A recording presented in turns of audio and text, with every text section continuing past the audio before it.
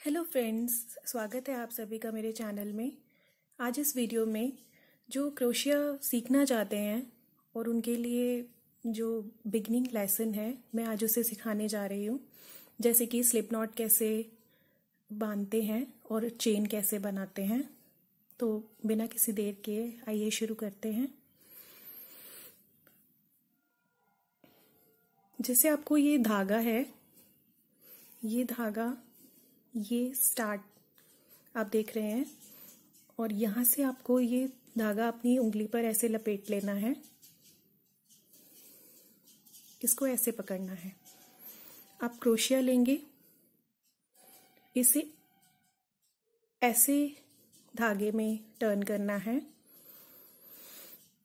Turn करने के बाद आप धागे को क्रोशिया के ऊपर से लेंगे।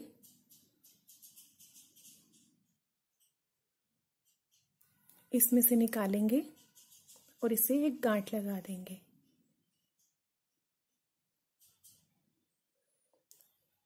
जब आप गांठ लगा देंगे, तब आप सेम पहले की तरह फिर से धागे को ऊपर से लेंगे, इसके बीच में से निकालेंगे। ये आपकी एक चेन बन गई। उसके बाद आप फिर से ऐसे ही करेंगे। ये आपकी दूसरी चेन बन गई।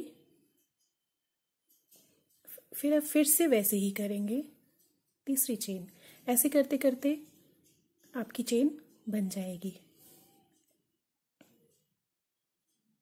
ये देखिए। ये देखिए। ऐसे ही हमारी चेन तैयार हो गई।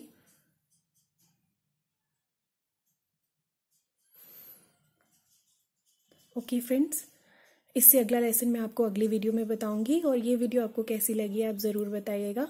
और अगर ये वीडियो आपको अच्छी लगी तो इसे लाइक कीजिए और मेरे चैनल को सब्सक्राइब कीजिए।